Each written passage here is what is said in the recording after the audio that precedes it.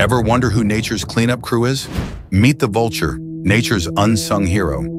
Vultures aren't scary, they're lifesavers. These scavengers eat dead animals, preventing the spread of deadly diseases like anthrax and rabies. Without them, ecosystems, and even humans, would be in serious trouble. Did you know that the bird with the largest wingspan belongs to the vultures? Particularly the Andean condor. With a wingspan up to 10.5 feet, their massive wingspans allow vultures to soar effortlessly for hours.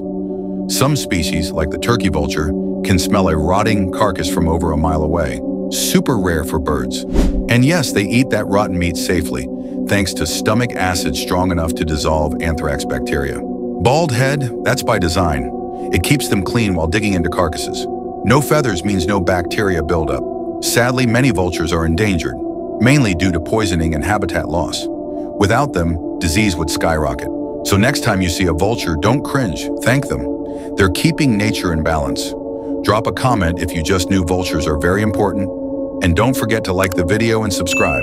See you on the next one.